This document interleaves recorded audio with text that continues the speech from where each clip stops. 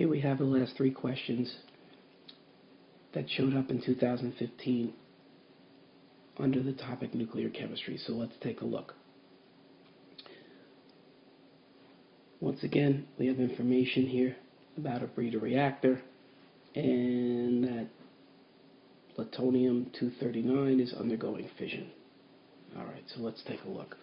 Question 8, based on reference table N, identify the decay mode of the plutonium radioisotope produced in the breeder reactor.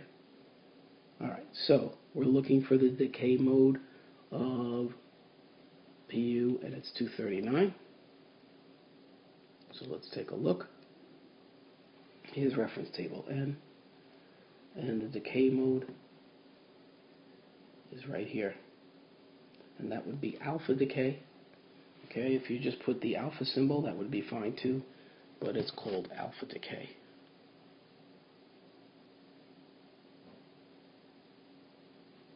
Or again, the symbol. Let's look at question 9. Compared to the amount of energy released by one mole of a completely fissioned plutonium-239 to the amount of energy released by the complete combustion of one mole of methane. Fission reactions and fusion reactions, by the way, release a huge amount of energy. So, this is just a fact that the amount of energy released in a fission reaction is huge compared to that of a combustion reaction. And again, that's for fission or fusion. That's just a fact. Make sure you know it. Let's take a look at question 10. It says write the notation for the nuclide represented by the missing product X in this equation. Well, just like the other videos, in order to balance or figure out the identity of the missing particle, I have to add up mass numbers on both sides of the equation and atomic numbers on both sides. So, I'm just going to rewrite it here. I have one neutron plus plutonium 239 and 94. Over here I have my X. I got my 94 with krypton 36. Now, the 2 in front of the neutron means that you have to count the mass number. You have two neutrons essentially. Okay?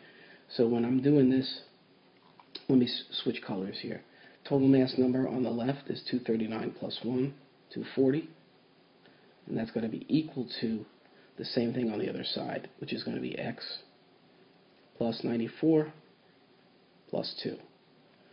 So in other words, 240 minus 94, which is going to be 144.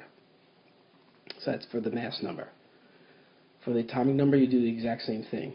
I have 94 plus 0, so I have a total of 94 on the left.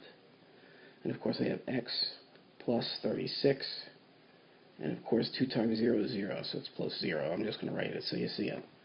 Alright, so 94 minus 36 is 58. So all I have to do is look up the identity for ele um, sorry, for element 58, which is Ce, which is cerium. So make sure you put the symbol and the mass number along with the atomic number. Okay? To get the answer. Okay, so this is the last nuclear chem question from 2015. There were a total of 10 short answer questions on nuclear chemistry, so New York State right now seems seems like they like nuclear chemistry questions for the second half of the test. So practice your questions, and good luck.